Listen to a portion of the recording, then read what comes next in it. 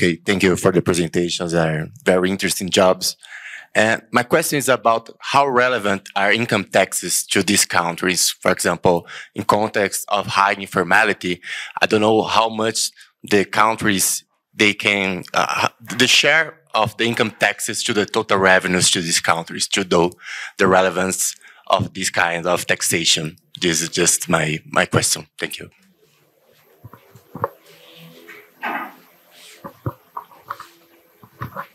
Thank you very much for the presentations.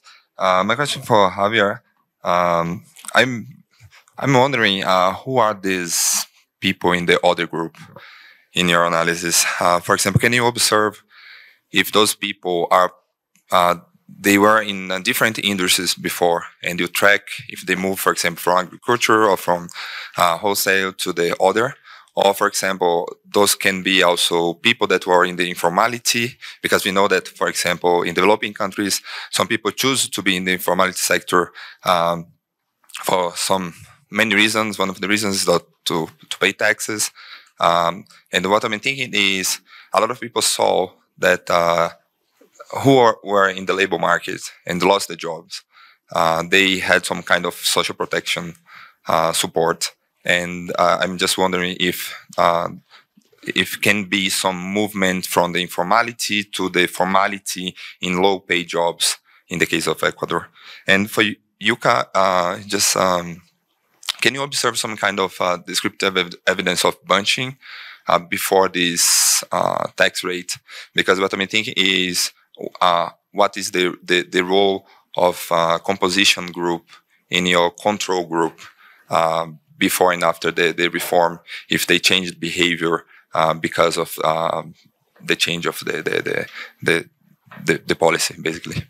Thank you. Uh, maybe we can take a third then we'll Thank you. You you might regret that because I have one for each, but but let me try really let me try really quickly. Um, so for thank you for the great presentation. So for, for Xavier, um, for Javier, the, the question on um, my question is on you know you you had changes over time of these shares, and my question is whether your analysis is anonymous or non-anonymous in the sense you said at the beginning you were interested in these top share these top people before the pandemic. So is it those people as they move, or is it you know the top one percent at each particular point? And this is related to Amina's uh, matrix, right? So I just wasn't sure. And then just to clarify, just to make sure I understood, there's no capital incomes, right, Xavier, Javier, in your analysis. Okay, for Amina, two quick things. Um, the capital gains that you have are they just the realized ones, or is this an estimate of the of the of the full capital gains, including when there weren't sales. And then you mentioned that there wasn't work on merging the household surveys and tax data in South Africa. And, and I was wondering, um, I thought I knew that Ingrid Woolard had done something on that. So asking about, about that, whether I, I had dreamt that or not.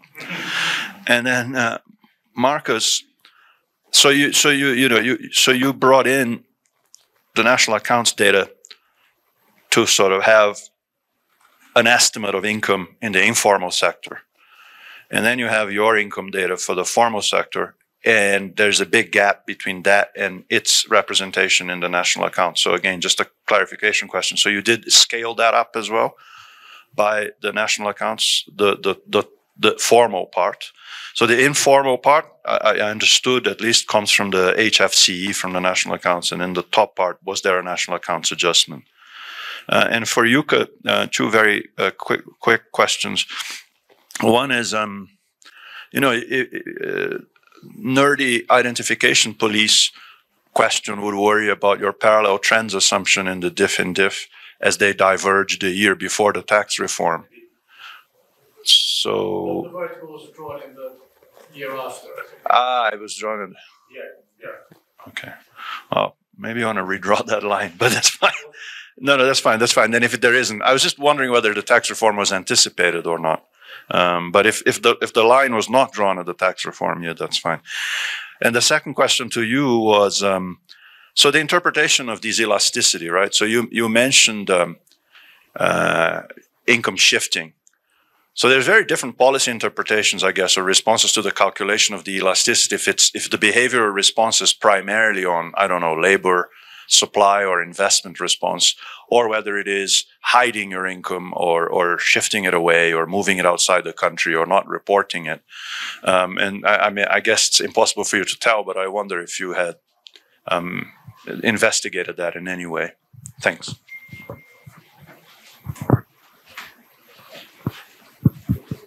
Okay, thank you for the good question. So um, we'll go, I guess, in the same order. Would that be okay? So thanks a lot for the questions. Um, on the first question, I don't have the, the, exact number for Ecuador, for but it's low. It's, it's um, the tax uh, to GDP ratio is, is, very small compared to, to developed countries. Uh, however, something interesting is that it is not only because of informal employment. So something that we have done with Ecuador is using microsimulation models is we have moved uh, artificially people who are uh, in informal employment in survey data to formal employment and recalculated for them social insurance contributions and personal income tax to see how much they would, it, how much it would cost for them to move, assuming they don't change uh, incomes. Okay, something very, something very easy. And what we see is that actually personal income tax increases by very little by, by 20% from, from the revenue. This means that it's not a problem of informality only, it's a problem of the design of personal income tax. As I was saying, the, the, the exempted tax, tax threshold is extremely high. We are talking about people only in the 10th decile of the income distribution who, who, who uh, practically pay personal income tax in Ecuador. And you have these extremely generous deductions from personal expenditures, so, you know, that make you fall out of the tax brackets. So I think it is both. And I think that's an interesting finding because it's not only about the labor market, it's about policy design. Okay? Um, Rodrigo, we can, the answer is we can. The the follow up of the answer is we haven't done it yet, but that's what we want to do. So, and this links to, to Chico's uh, question. So it's, uh, is, is anonymous in the sense that we are, at the moment, we, we just, especially for the top, we define it uh, in terms of uh, 2019. And for them, we do follow them what's what's going on. Okay, so these these are not top uh, top incomes that change from year to year. So these are people that were in the top incomes in 2019, and then we see what what happens to the earnings and and and uh, um, employment. But at the bottom is everyone. Okay, so it's not we are not fixing for those who were at the bottom in 2019.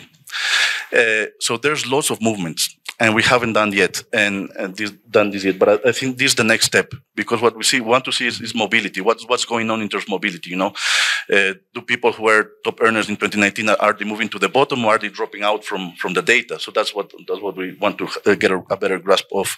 Um, however, the main problem is that we can know what happened to these people only as long as they come back to the data. What do I mean? You have you have in, in, in, in the register. If they go out, we don't know whether they became unemployed, whether they went moved to informal employment, whether they they died during the pandemic. It's impossible for us to know. As uh, the only way we can know is they, if they come back. Okay, so what you know they they they went out and they came back. So we cannot do this this mobility between formal and informal, but we can know what happened them, you know, in terms of exiting and, and coming back. And that's the next step that we want to take. Yeah. Thanks. Um, okay, so for the first question, and maybe one thing I didn't mention, and maybe it's kind of different from some of the other presentations, is that uh, in the South African context, um, the information that we actually capture from the tax data, um, so you're looking at about almost 70% of your employed so yeah, employees in in the country. Right? So your from your workforce, those who are employed, seventy percent of them are actually in the tax data. Informality is not as big, or the informal sector is not as big in South Africa comparison to a lot of the other African countries. Um, so that's you know, maybe gives you some sense of that. Uh, capital gains realized, yes, that's what I understand um, that to be.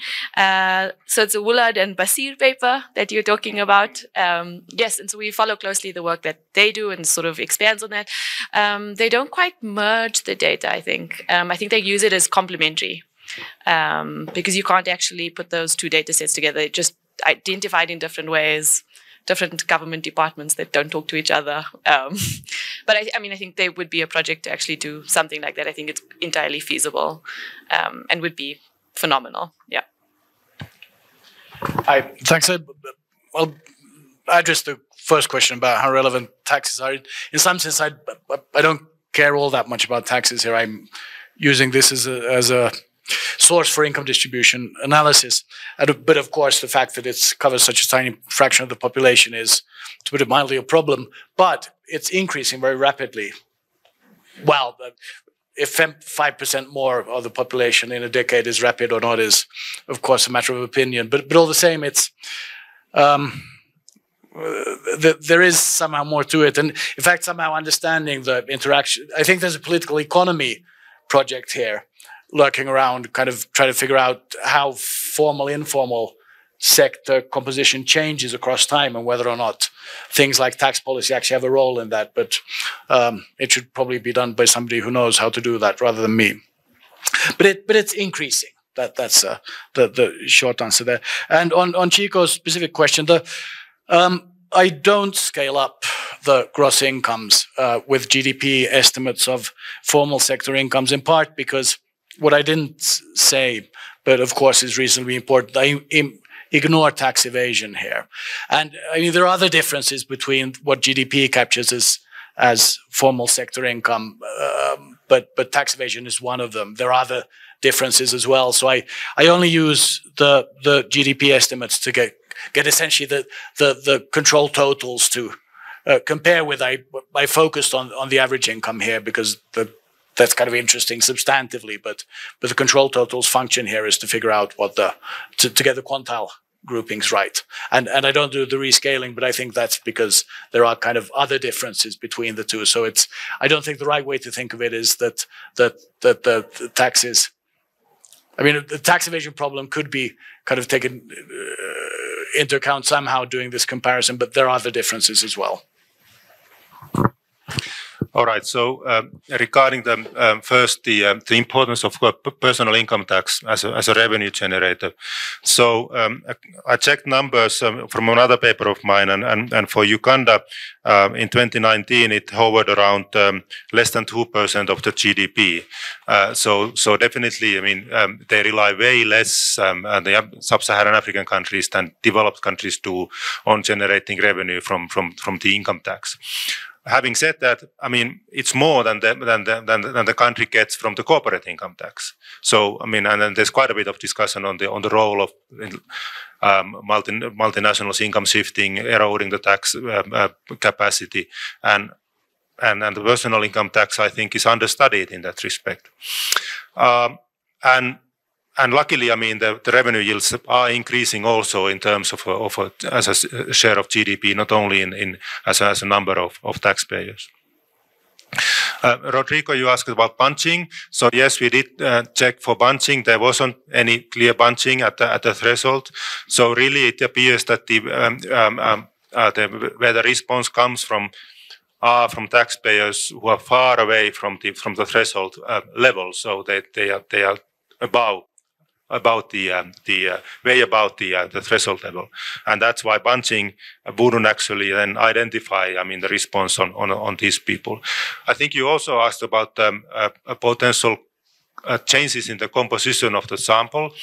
Or the, or the, or the, or the, or the people in the in the in the in the uh, analysis that we cover, and that's a good question. That's a potential pitfall of the cross-sectional analysis, and also something that Saez discusses. Unfortunately, um, we don't have many other covariates to check because we're using the admin tax data and there's nothing on education, etc. We could do a little bit on, on, on, on, regions and industry of the employer. So that, that we could check. So that's a useful comment. Um, so, so the, and, and then finally, uh, uh, uh Chico, you asked about the um, uh, the parallel trends. So the so the figure was drawn so that the, the, the, the vertical line was for the first year of the reform, and then it was normalized for the for the, for the year before, uh, and then uh, two years after before the reform there were no no no differences across this group. So so maybe the figure was misleading, but that, there's no no problem in in parallel trends. Um, uh, yes, that's an excellent point regarding then the um, uh, what are the tax policy implications of this. Um, so uh, unfortunately, I, I, I, don't think we can match um, uh, the income and the dividend recipients. So, so, in a sense, to I mean, ideally, we would like to, in a sense, have a have a response of the of the broad income of of, of these top earners, but we, we, we are not able to match the um, um, uh, the um, uh, their dividend received or any other incomes, and then the then then, then the labor earnings uh, uh, to see how much the, the broad income covering all sorts of different tax heads uh, would would would react. But the tax policy implications clearly are very different because if it's if it's only income shifting, then uh, then the uh, then, then then the formula that I showed you uh, for the revenue maximizing top tax rates is is actually not valid. And we do discuss this uh, a little bit in the paper, but we it's a little bit of a, a I mean, hand waving because we, there, there, there are limits on how much we can do actual analysis on that. All right. Um, uh, are there any other questions, comments? We still have time, so yeah, please.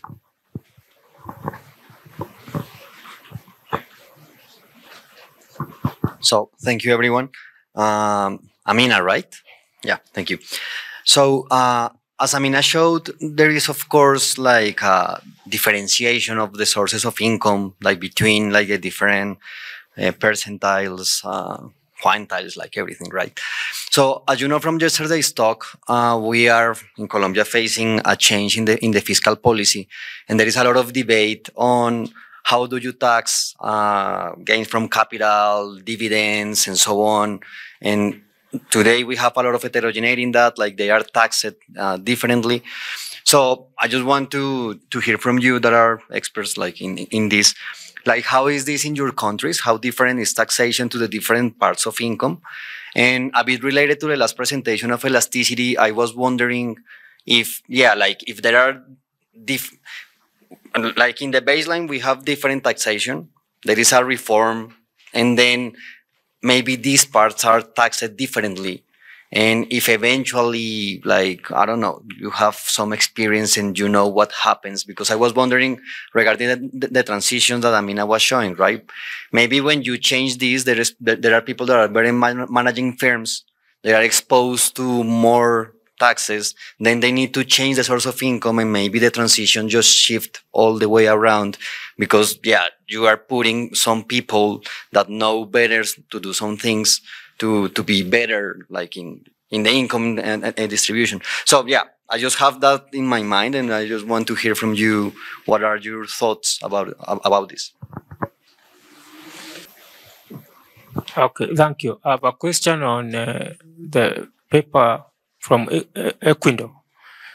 Uh, the drop in uh, earnings and employment, do we know the portion of that drop that can be attributed to the pandemic itself, like uh, COVID infections, and also attributable to um, government policies like uh, close on businesses and also subsidies support on uh, farms. Thank you. Thank you. Uh, good question, um, and something maybe we need to think about a little bit more. It might be nice to add a slide to say, you know, this capital gains gets, uh, you know, has this tax rate, and the dividends has that tax rate, and labor income has this tax rate. Um, off the top of my head, I can't think of the the tax rate for the capital gains tax, but it is it is all different. Um, and then yeah, Jukka, did you have some? I mean, I think we we we've had some small discussion about this. But I don't remember the rate. So the, yeah. So, so, so the so the um, so the rates are different. So there's a flat tax on dividends. Twenty. Yeah. In yeah. South Africa, there's a flat tax, I believe, on capital gains. Can't remember now on top of my head what the rates are. Uh, so this is a very useful practice that uh, I mean it's hard to levy a progressive tax on capital gains because then the, there would be timing responses. So uh, yeah. Yeah. Uh, thank you. So, yes, the, the big drop in earnings and employment uh, during the second quarter of 2020 is due to the strict lockdown measures taken by the government. Um, these affected industries differently. As you saw in, in the graphic, there was a drop in all industries, but to different extents. Um, in agriculture, something that we found out is that um, there was a drop in earnings, uh, although you know this is a, this is considered um, one of the activities that did not suffer or should not suffer much.